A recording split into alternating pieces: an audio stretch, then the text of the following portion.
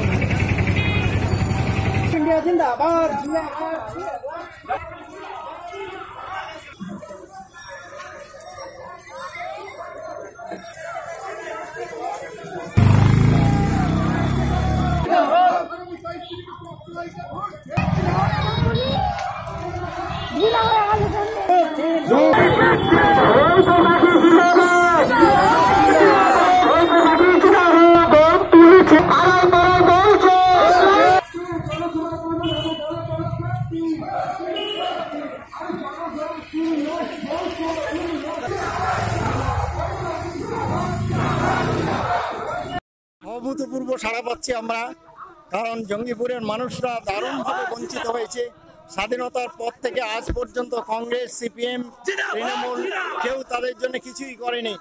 এখানে না কোনো উচ্চশিক্ষার ব্যবস্থা আছে না স্বাস্থ্য পরিষেবা আছে না এখানকার মানুষের মিনিমাম বেঁচে থাকার কোনো সুযোগ আছে। তাদের লক্ষ লক্ষ মানুষ তারা কেবলমাত্র বিড়ির কাজ করে জীবনযাপন করছে। খুবই কম বেতনে আর তাদের মধ্যে অসংখ্য মানুষ যারা এখান থেকে যুবকরা তারা লক্ষ লক্ষ যুবক তারা বিভিন্ন রাজ্যে গিয়ে তাদের মিনিমাম ওয়েজের মিনিমাম বেতনে তারা সেখানে কোনোভাবে চাকরি করছে। অথচ তাদের জীবনের কোনো নিরাপত্তা নেই। আর তাদের কোনো ধরনের সুযোগ সুবিধার ব্যাপারে না কেন্দ্র না রাজ্য কোনো সরকারি ব্যবস্থা করেনি।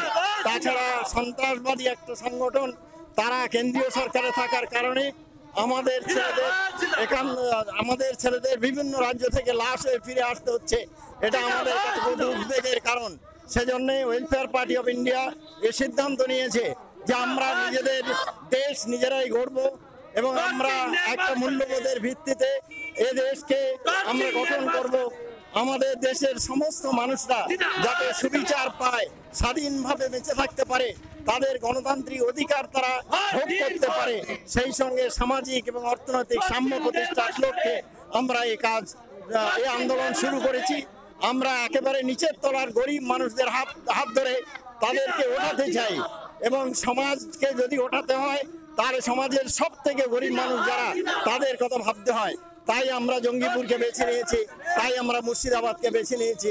যেখান থেকেই শুভ সূচনা শুরু হোক, নিপীড়িত মানুষের, বঞ্চিত মানুষের আওয়াজ এখান থেকে বলুন হোক, সারা বাংলা পথ দেখুক এবং যা বাংলা আজকে ভাববে, আগামী দিনে ভারতবর্ষ তাই ভাববে। আমাদের কাছে কোনো দল, কোনো কমিউনিটি কোনো সম্প্রদায় অথবা কোনো এলাকার মানুষের কোনো বৈষম্য আমাদের কাছে নেই আমাদের কাছে ভারতবর্ষের সীমানার মধ্যে বাস করে যারা তারা কেবলমাত্র আদম সন্তান হলেই হলো তারা মানুষ হলে হলো আমরা মানুষের সংগতি আমরা মানুষের সংগতি মানবীয় ভ্রাতৃত্বের প্রতিষ্ঠা চাই আমরা সার্বজনীন গণতন্ত্র চাই সমস্ত মানুষের গণতান্ত্রিক অধিকারকে সুনিশ্চিত করতে চাই সেই অর্থে আমরা আন্দোলন করছি रिएक्शन बताइए कैसा कैसा सारा मिलता है देखिए, यहाँ पे बहुत अच्छा रिस्पांस मिल रहा है। यहाँ के लोग चेंज चाहते हैं, परिवर्तन चाहते हैं। यहाँ पे जिस तरह से टीएमसी ने, कांग्रेस ने सीपीएम ने यहाँ के लोगों को बंधुआ मजदूर बना रखा है, उससे लोग निकलना चाहते हैं बाहर। वो यहाँ डेवलपमेंट चाहते हैं, विकास चाहते हैं, वो शिक्षा के केंद्र चाहते हैं, वो रोज़गार के अवसर चाहते हैं, वो स्वास्थ्य के केंद्र चाहते हैं। लोगों की ये उपेक्षा जो है वेलफेयर पार्टी ऑफ़ इंडिया से है कि वो इस मामले में काम करेगी। बहुत अच्छा रिस्पॉन्स यहाँ मिल रहा है।